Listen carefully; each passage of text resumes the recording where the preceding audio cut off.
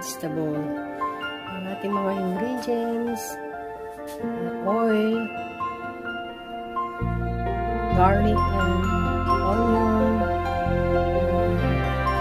shrimp, oyster sauce,